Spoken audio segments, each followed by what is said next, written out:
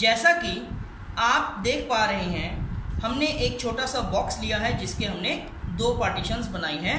यहाँ पर है इवन नंबर यानी कि जिस्त संख्या, जिसे कि हिंदी में सम संख्याएँ भी कहते हैं, और यह है ऑड नंबर जिसे कि पंजाबी में टांग संख्या और हिंदी में विषम संख्याएँ कहा जाता है।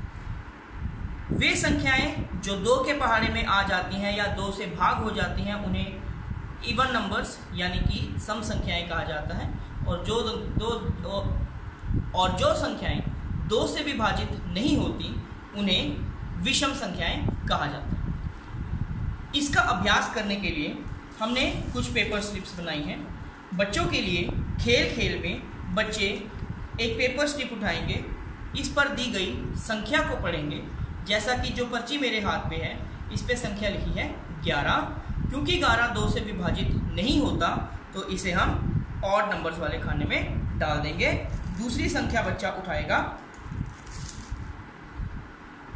इस पर संख्या लिखी है अठानवे, क्योंकि इसके यूनिट प्लेस पर आठ है, जो कि दो से विभाजित हो जाता है। इसका अर्थ है कि अठानवे भी दो से विभाजित होगा, अर्थात यह सम संख्या है तो इसे सम संख्या वाले खाने में डाल देंगे। इस प्रकार से बच्चा इन पर्चियों की मदद से खेलेगा और खेल खेल में ही सम संख्याओं और विषम संख्याओं को अलग अलग करना सीख लेगा। आमतौर पर हम देखते हैं कि बच्चे बड़ी कक्षाओं में भी हो जाते हैं, लेकिन उन्हें सम और विषम संख्याओं का ज्ञान नहीं होता।